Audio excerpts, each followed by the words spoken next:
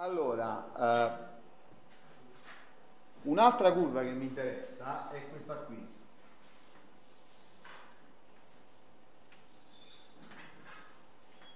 Allora, io prendo una circonferenza di raggio R. Uh, qua, supponete che qua ci sia il tappino, il tappino della canale Cioè, metto un punto dove sta questo punto qua poi faccio rotolare la circonferenza, questo raggio è R, eh, ovviamente se rotola senza strisciare la circonferenza si troverà nella stessa posizione iniziale dopo un giro completo che è lungo 2πr nel frattempo vado a vedere il modo del tappino. Vabbè, diciamo che qua la mano mi ha detto così, quindi diciamo che 2πr era qua. A occhio mi sembra un po' curto, ma comunque. Ok? Il tappino, sì perché guarda l'altro, vedremo partirà e arriverà con tangente verticale. Uh, allora qua stiamo a pi greco r. Eh? Eh, allora io voglio sapere il moto, l'equazione della curva, l'equazione parametrica della curva e voglio anche magari calcolarne la lunghezza. E...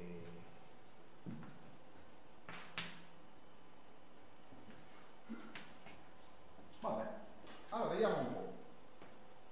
Per capire bene l'equazione parametrica della curva, io faccio la circonferenza un po' più grande e la faccio spostata di poco poco.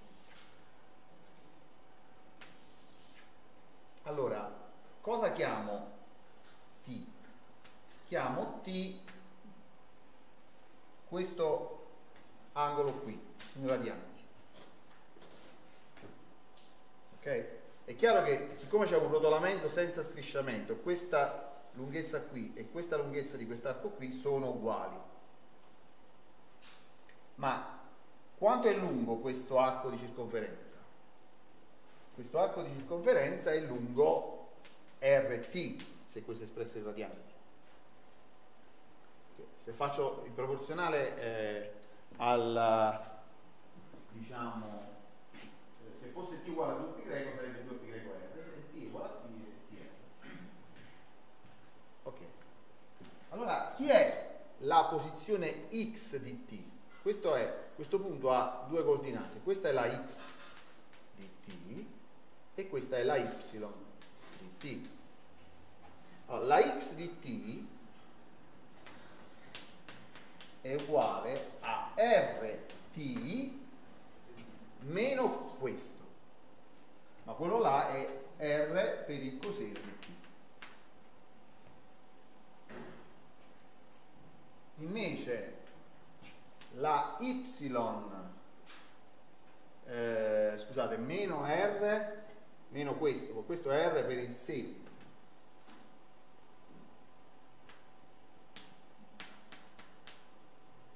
ok? La x, questo qua è r per seno. Invece la y di t è uguale a r tutto questo eh, meno questo, r per 1 meno coseno. Allora, andiamo a vedere se funziona. Uh, se sto in 0 mi viene 0 uh, 0 e funziona se sto a greco t uguale a greco il punto sarà questo qua che dopo π greco sta il corso π greco r, quindi pure esattamente dall'altra parte. Eh, diciamo, quest questa altezza qua è 2r. Allora vedete che viene t uguale a π greco, se π greco fa 0 viene π greco r, 1 meno meno 1 fa 2, 2r. E così via. Quindi la parametrizzazione effettivamente è questa qui. Ora uno potrebbe dire ma sai, esplicitiamo una... Si può pure fare, innanzitutto chi è facile da esplicitare? Questa non ci pensate proprio, perché per esplicitare o devo trovare una relazione tra x e y direttamente, oppure devo invertire e trovare la t da una parte e sostituire nell'altra. La cosa più semplice è trovare il θ sotto, perché qua diciamo, divido per r, diciamo, porto uno di là, uno di qua, mi viene coseno, devo fare l'arco coseno, poi sostituire sopra, però capite bene che viene un macello, viene abbastanza un macello. Quindi sarà poi necessario ricavarsi la, y della x. Il sostegno più o meno l'abbiamo descritto. Andiamo a vedere per esempio dφ dt quanto fa. Allora, dφ dt fa r, lo metto in evidenza, per 1 meno coseno di t e poi qua mi viene più seno di t. Allora, guardate che per esempio nel punto 0 viene uh, R per 1 meno coseno di t, viene 0, 0. È ovvio che, che venga 0, 0.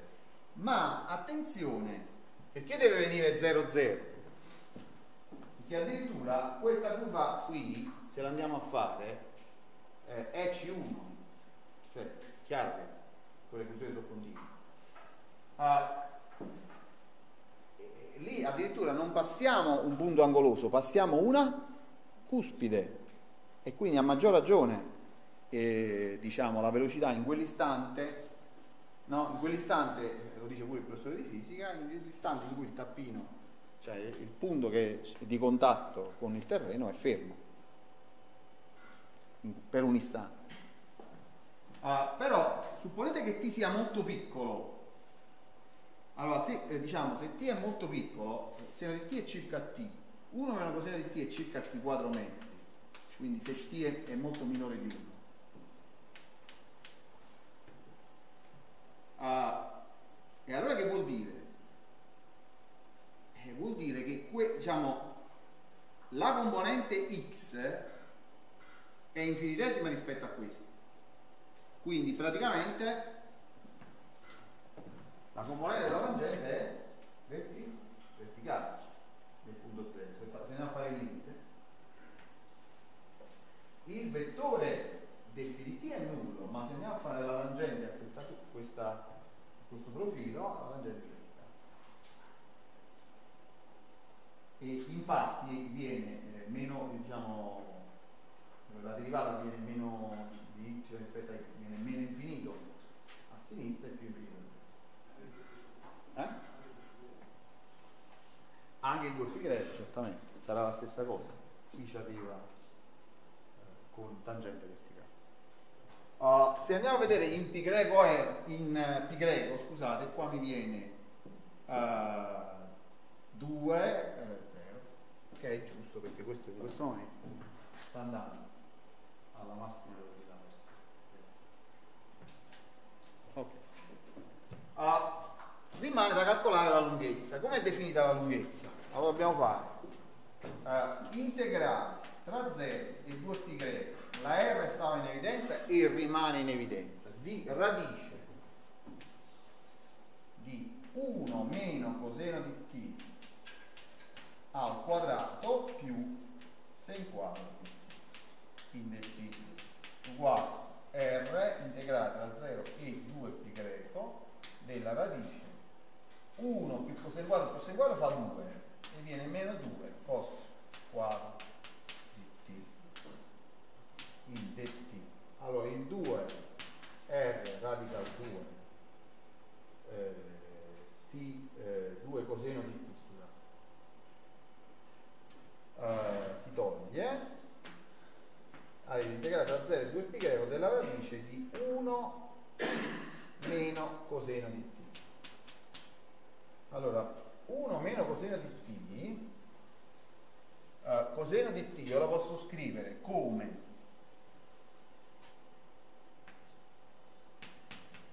cos quadro di t mezzi meno sen quadro di t mezzi. Quando vado a fare la differenza mi viene 2, quindi viene r radical 2 integrale 0 e 2 pi greco della radice di 2 sen quadro di t mezzi t. Uguale. Il radical 2 lo porto fuori insieme all'altro radical 2 mi fa 2r poi mi viene t mezzi lo chiamo y quindi viene integrale tra 0 e y della radice di sen quadro di y poi eh, dt mezzi uguale dei, eh, dei y quindi dt uguale 2 di y. Ma adesso avete 4r eh, la radice di sen quadro tra 0 e pi greco fa, eh, il seno è positivo fa seno, l'integrale di seno tra 0 e greco fa 2 e quindi qua 4 pi greco per 2 4r per 2 viene 8r quindi eh, questa curva si chiama cicloide quindi la lunghezza della cicloide è eh, 8 volte la lunghezza del raggio. Ora, questo qua si fa, ma se io volessi controllare, controllare, secondo voi, come si può fare? Ma è abbastanza semplice. Un modo, questa che è? Non è una poligonale, sono solo due. Allora, io so che la, eh, quanto è lungo questo?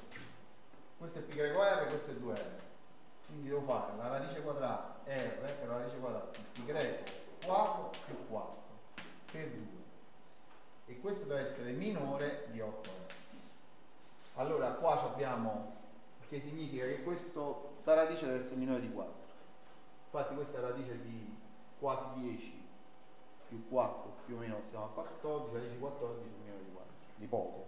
Infatti la lunghezza di, questo, di questa roba è poco minore diciamo, in percentuale della cicloide. Eh? Se voglio essere sicuro di aver percorso di più, per esempio, posso fare così. Ah, perché questa è una figura commessa, allora se faccio la poligonale da fuori è più lunga. Non sempre, eh, se, se, prendo quella fatta così, questa è più corta. Ma essendo commessa è vero. Eh, e quindi in quel caso avremmo... Uh, pi greco più 2, pi greco più 2 eh, deve essere maggiore di 4. Infatti pi greco più 2 è 5 qualcosa. Chiaro che io faccio così, faccio, percorro una lunghezza maggiore di 4R. Ok? Quindi questo è un modo eh, di, eh, diciamo, eh, in questo caso però il conto si poteva fare in maniera eh, precisa o questa curva è nota per essere stata studiata da Galileo, il quale disse, mi ricordo, penso che calcolò pure la lunghezza, comunque, eh, che l'area, allora non c'era, non c'aveva il calcolo integrale, almeno e disse eh, che la, eh, perché quello che gli interessava era pure l'area compresa tra la cicloide. Quest'area qui non è per nulla facile da calcolare perché anche eh, se eh, diciamo eh, con quello che sappiamo finora, per quale motivo? Anche se riuscite a esplicitare la y, innanzitutto riuscite a esplicitare la y rispetto alla y e quindi dovete integrare la x tra 0 e 2. Però anche se la esplicitate l'integrale non risulta per nulla banale da fare. Ok? Uh, in verità eh, tra un po' diciamo, credo già la settimana prossima, faremo delle formule, che, le formule di Gauss-Green, che ci consentiranno di ricondurre un integrale, cioè l'integrale di 1 su t, all'integrale di una funzione sulla frontiera di t. L'integrale di una funzione sulla frontiera di t sarà integrale lungo una curva, cioè lungo un qualunque, vabbè, vediamo, un qualunque percorso regolare a tratti che percorre la, la frontiera della curva. Allora a questo punto il calcolo di quell'area diventerà facile e quell'area sarà tre volte l'area del cerchio che genera la cicloide, sarà 3, eh, 3 π greco R4. Ok? Eh, la curiosità storica è che Galileo si sbagliò, disse che ebbe l'intuizione che era uguale a tre volte l'area del, del cerchio, dice ma non è proprio uguale sebbene la differenza non sia molta. Che faceva? Prendeva un po' di fogli, quello che c'aveva di più omogeneo possibile, tagliava, metteva sulla bilancia, pesava probabilmente, o faceva altri tipi di ragionamenti, non lo sappiamo. Diciamo, quello che sappiamo con certezza è che eh, diciamo, la valutazione fu, fu errata, invece col calcolo integrale potremo dimostrare che quell'area è eh, tre volte l'area del cerchio che la genera. Uh, si può fare, eh, eh, vediamo innanzitutto che ore eh, Allora, eh, facciamo un altro, perché volevo fare un altro esercizio, però quello là ci vuole una mezz'ora e lo facciamo la prossima volta. Cioè, l'epicicloide, o li, diciamo, se io faccio rotolare una circonferenza su un'altra circonferenza, ci troviamo, facciamo... Però diciamo anche questo probabilmente ci conviene aspettare forma di Gauss-Green, così oltre alla eh, diciamo, lunghezza della curva che si ottiene, possiamo anche eh, diciamo, ottenere l'area della figura eh, diciamo racchiusa dalla curva. Ok? Eh, invece adesso andiamo a vedere altre curve un po' più diciamo tranquille. Una curva molto eh, anche per capire un po' come sono fatti alcuni sostegni, come Vediamo almeno un altro paio.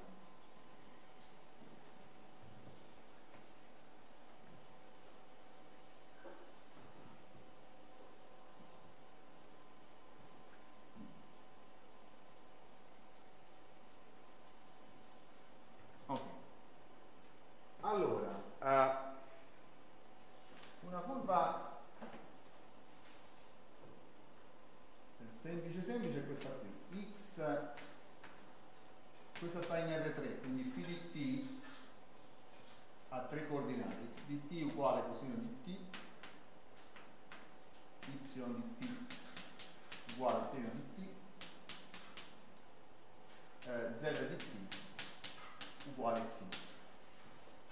Per esempio diciamo che t varia tra 0 e 6 π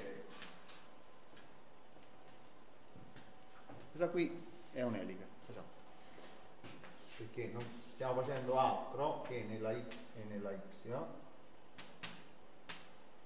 Man mano che eh, giriamo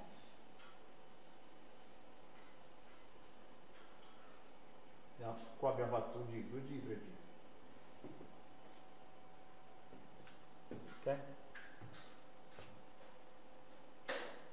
Quindi può rappresentare una filettatura di, di una vite per esempio Uh, poi ci sono le viti che eh, diciamo si stringono verso la punta, quello come si potrebbe fare? Poi si può facilmente modificare questa.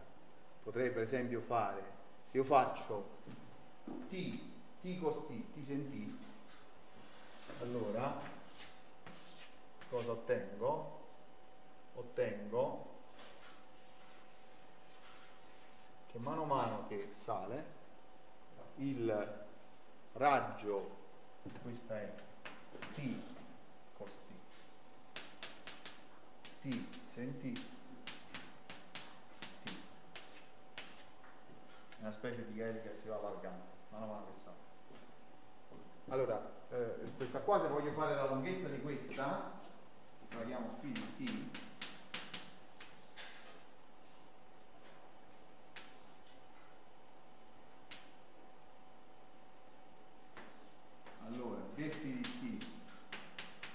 facile perché viene meno seno di t. Coseno di t. 1 e a, a norma di def di t uguale a radical 2 eh, e quindi la lunghezza è radical 2 per 6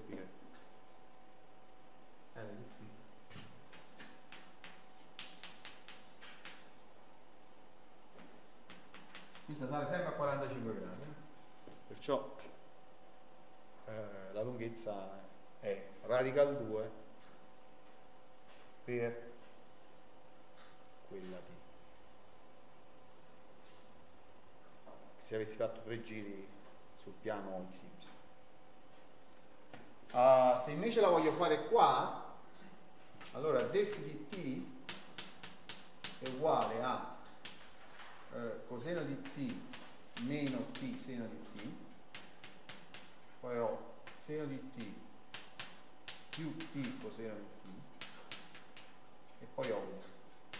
Quindi adesso devo fare la norma di df di t uguale la radice di 2 che cos quadro più sen quadro più 1 fa 2 poi i doppi prodotti qua e qua se ne vanno e poi mi viene più t quadro e questo qua si fa. Questo qua si fa. Uh, dovete fare prima la, ricondurre la radice di 1 più t quadro facendo la sostituzione che, che t uguale radical 2 per y allora viene radical 2 che mettete in evidenza 1 più y quadro. E poi dovete fare la sostituzione y uguale seno iperbolico perché voi sapete che coseno iperbolico quadro meno seno iperbolico quadro fa 1 più seno iperbolico quadro quindi coseno iperbolico diciamo questa è la sostituzione da fare eh, questo oh, ve lo lascio eh, per esercizio. Andiamo a fare un'altra. Un altro esempio.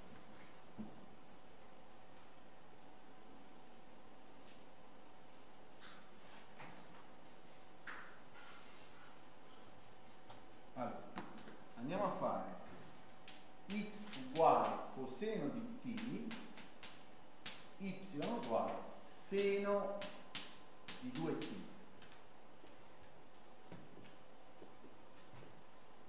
Allora, è chiaro che quando stiamo in a 0, t uguale a 0, siamo nel punto 1, 0.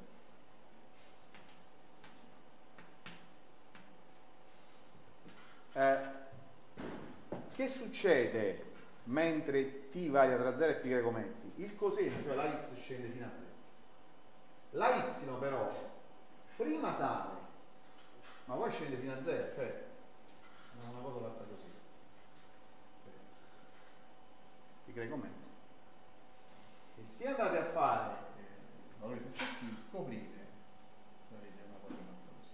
Vabbè, dovrebbe essere simmetrica, eh?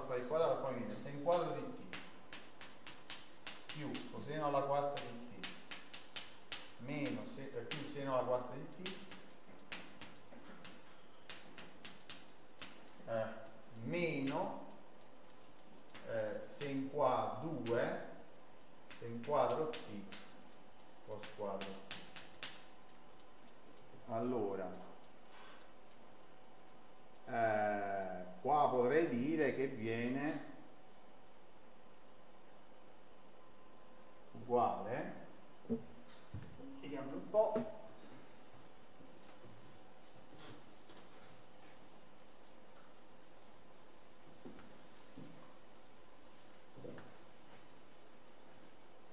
viene la radice di coseno alla quarta di t più seno alla quarta di t eh, meno sen quadro t che moltiplica 1 meno 2 cos quadro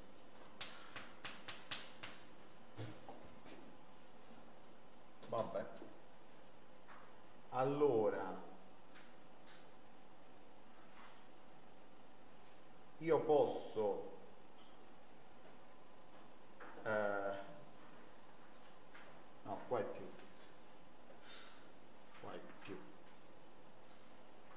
ok uh, se volete posso provare a, a eh, diciamo aggiungere e sottrarre eh, 2 seno alla quarta di t.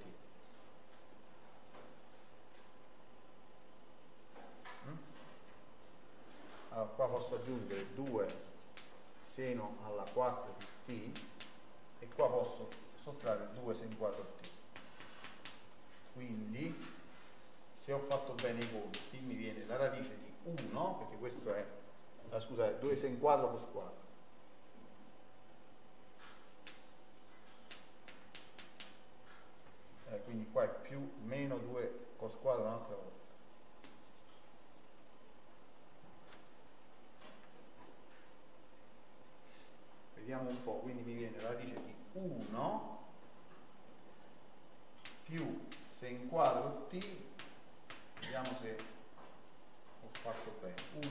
4 cos quadro t. Uh, allora, vediamo se questo è più piccolo di 1. Certamente quando il coseno è vicino a 0, questo, vabbè, insomma, si deve vedere, si può proseguire. Comunque, questa qua è una delle, più semplice delle, si chiama curve di Lissajou. Cioè, se tu metti coseno di kt e seno di ht, con k e h che, eh, diciamo, ridotti, diciamo, semplificati al massimo, no? che non hanno fattori comuni, vengono delle curve che girano qua in mezzo stanno tutte comprese nel quadrato meno 1 1 al quadrato perché ovviamente essendo seni coseni eh, girano più volte prima di diciamo, avere un, un periodo uh, e questo, questo, qua anche qui è un integrale che non si fa eh, diciamo esplicitamente però si può, insomma, ci si può lavorare un po' si può approssimare. Uh, che altro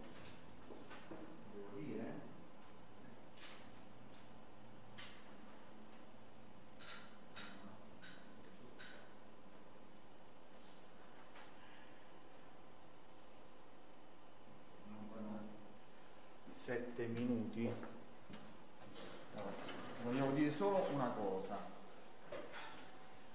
eh, questa la pure questa la sviluppiamo la volta seguente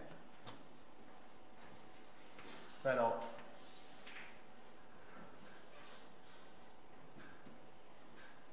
volevo far vedere una costruzione di una curva che ha eh, lunghezza infinita. Allora, una, vediamo prima, allora, una curva frattale la vediamo la volta. Facciamo prima questa semplice curva qua, x, virgola, x seno di 1 su x. Allora, per x compreso tra eh, 0 e eh, 1 Attenzione che in 0 questa non è definita, ma siccome questa è limitata e questa va a 0, la intendiamo 0, 0. Allora, come è fatta uh, questa curva? Uh, è un semplice grafico di funzione, perché quando ho una curva del tipo x, f di x, la curva descrive come sostegno il grafico della funzione. Quindi abbiamo uh, una cosa fatta così. Ora però, se voi, se voi prendete xk uguale 1 su greco mezzi più k pi greco, seno di 1 su xk viene seno di questo che è meno 1 alla k. Se vi ricordate, seno di greco mezzi più k seno di greco mezzi fa 1, ma ogni volta che aggiungo al, al seno o al coseno un argomento pi greco, il, valore del seno cambia sempre. Quindi ne ho aggiunti k, quindi meno 1 alla k. E allora, diciamo, φ nel punto x con k vale 1 su pi greco mezzi più k pi greco virgola 1 su eh, eh, diciamo meno 1 alla k eh, su pi mezzi più k cioè abbiamo che di volta in volta questi punti si trovano la, eh, la x scende a 0 questa x è dell'ordine di 1 su k. Eh, la y invece cambia segno. È dello stesso ordine ma cambia segno. Ora se ti vai a fare la distanza tra due punti successivi eh, io cosa voglio fare? voglio fare una poligonale allora, se faccio la distanza tra due punti successivi eh, viene eh, sicuramente maggiore di due volte questo. Questo qua è dell'ordine di 1 su Ok? Allora, quando eh, ho questa disuguaglianza, ripeto questa situazione per, diciamo, da 1 fino a n. Allora, cosa ottengo? Una cosa eh, che una poligonale eh, che, la cui lunghezza minorare con una costante per la somma parziale ennesima della serie Quindi se io prendo una poligonale eh, subordinata a S, dove S è x1, xn, 0, l'ultimo punto lo prendo 0, cioè sono ordinate al contrario, eh? quindi sarebbe 0, xn, x1. Eh, allora L di P di S viene maggiore o uguale di una costante per la somma di 1 su k per k che va da 1 ma noi sappiamo che questa somma è dell'ordine di logaritmo n se ne va infinito. Quindi che vuol dire? Che la lunghezza di questa curva è infinita. Questa curva non è C1 non è C1 per quale motivo? non ha la derivata. È continua ma non è C1 perché non ha la derivata per x uguale a 0 chiaro? Eh, se fosse C1 la, la, velocità massima sarebbe finita e io non potrei percorrere una lunghezza infinita in un tempo finito x vale da 0 sarebbe t il tempo sarebbe t e t vale da 0 ok? quindi uh, questo esempio, per esempio, questo esempio uh, prova che ci sono curve uh, non continue non C1 e, quindi basta anche solo continua, non basta per dire che la curva abbia lunghezza finita. Ok? Eh, ci vuole C1. C1 è sufficiente, eh, ma continua non è sufficiente per dire che una curva abbia lunghezza finita. Naturalmente nel caso di una curva che non è C1, come definiamo la lunghezza? Come l'estremo superiore della lunghezza delle poligonali. Cioè quella che abbiamo visto prima come un teorema, ci dice che la, per le curve di, eh, di, classe C1 la lunghezza o è definita in un modo o è definita nell'altro modo, è la stessa cosa. Allora, a quel punto uno si prende, eh, diciamo, l'estremo superiore della lunghezza poligonale, quello lo posso definire sempre. anche se la curva è soltanto continua. E quindi in quel caso eh, diciamo, eh, la lunghezza è definita in questo modo qua. Va bene?